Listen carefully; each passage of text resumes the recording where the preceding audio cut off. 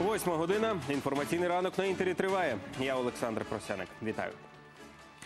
У мінську сьогодні обговорять деталі великого обміну заручниками. Про це повідомили у службі безпеки України. Учасники контактної групи узгоджуватимуть списки людей.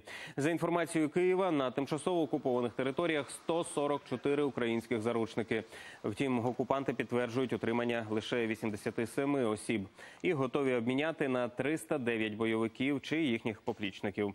В СБУ запевняють тих, хто вчинив тяжкі злочини, не відпустять. Доба на сході країни минула без втрат. Бойовики відкривали вогонь більше 30 разів. Уперше за багато днів жодного мінометного обстрілу. Окупанти переважно били зі стрілецької зброї та гранатометів. Найбільше атак у районі Донецька. Повідомили в штабі АТО. Бойовики тричі відкривали вогонь з гранатометів у районі Лебединського, двічі біля водяного. Декілька разів з озброєння БМП та великокаліберних кулеметів ворог бив по наших позиціях на підступах до Старогнатівки.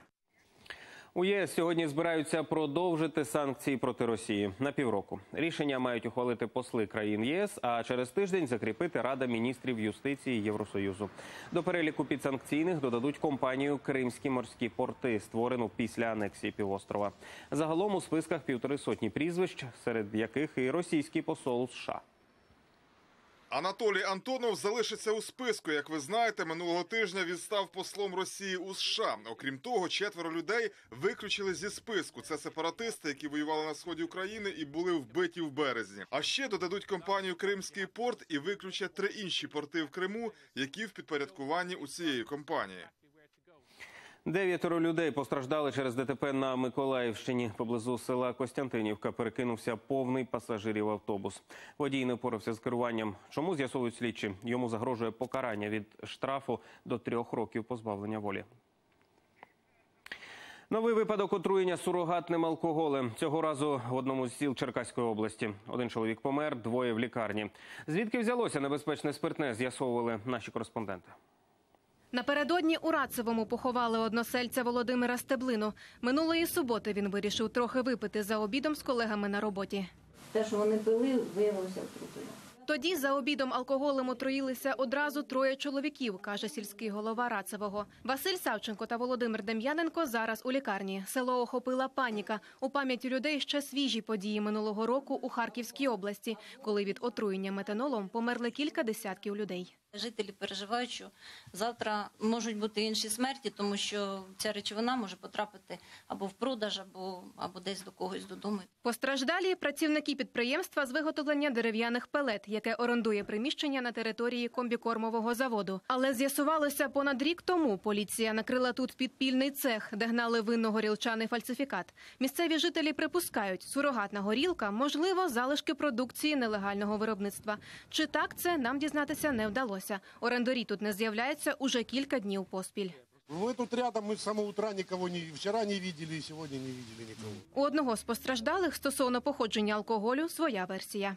Більше всього, що на розлив вона була, бо вона була в пластмасовій бутилці. Звідти вже все вивезли, там нічого не залишилося з того підприємства. Я думаю, десь в селі взяли, принесли. Звідки взялося спиртне, намагається з'ясувати і поліція. Там відкрили кримінальне провадження за статтею Умисне вбивство. Вилучено ряд речових доказів, е, вони направлені на експертизу. Що саме за речові докази, на- жаль, назвати не можу. У поліції не виключають, що метанол міг потрапити і в роздрібну мережу, тому просять жителів Чигиринського району бути уважними. Катерина Сривкова, Станіслав Кухарчук, Павло Тимошенко. Новини телеканал Інтер. Черкаська область. Міжнародну мережу з контрабанди наркотиків накрила СБУ спільно з європейськими спецслужбами. В ході спецоперації затримали 30 осіб у чотирьох країнах. Арешти проводили одночасно у Польщі, Чехії, Словаччині та в Україні, зокрема на Рівненщині. Як повідомили в СБУ, наркоділки виробляли в Україні амфетамін, а компоненти для його виготовлення ввозили з-за кордону. В Україні затримали шістьох осіб, знайшли лабораторію, готову продукцію і зброю. Міну на смітнику знайшов житель Київщини. Сталося це у Василькові. Чоловік повідомив про небезпечну знахідку поліцію. На місце виїхали вибухотехніки, і виявилося, що міна протипіхотна, але навчальна. Хто вирішив її виконати разом із сміттям? Зараз з'ясовують слідчі. Пхеньян погрожує Вашингтону новими ядерними випробуваннями. Постпред КНДР при ООН заявив у Женеві, США отримають більше таких подарунків, якщо не припинять тиснути на КНДР. Це цитата. Нагадаю, Сполучені Штати домагаються жорсткіших санкцій проти Північної Кореї у відповідь на останнє найбільше ядерне випробування, проведене 3 вересня. Голосування щодо нової резолюції в Радбезі ООН заплановано на 11 вересня. В Росії, яка має право вето, вже назвали такі заходи передчасними. Ураган Ірма, що нестримно насувається на Кариби та США, показали з космосу. Це вже другий тропічний циклон услід за буревієм Гарві, який ще може накоїти чимало лиха на півдні Америки. Швидкість вітру Ірми 280 км за годину. Стихії присвоїли найвищу п'яту категорію небезпеки.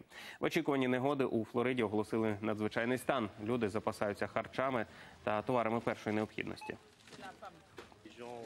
Насамперед люди скуповують воду, а ще консерви, напівфабрикати, готову їжу та торти. Дуже багато тортів, а також засоби для прибирання.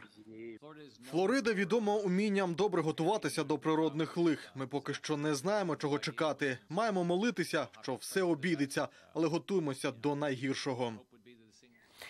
100 тисяч євро за фотографії топлес. Герцогиня Кейт разом із чоловіком принцем Вільямом виграли судовий позов проти французького журналу, який опублікував знімки королівської пари на відпочинку у Провансі. Кейт засмагала на терасі палацу спочатку в купальнику, а потім зняла його верхню частину. Суд визнав, що публікація фото була втручанням у приватне життя. Юристи герцогині вимагали понад півтора мільйона євро відшкодування. Утім, отримують суму в десятеро менше, бо це максимальний штраф за таке порушення. Більше новин у випуску о 9 Тож побачимося за годину. До зустрічі.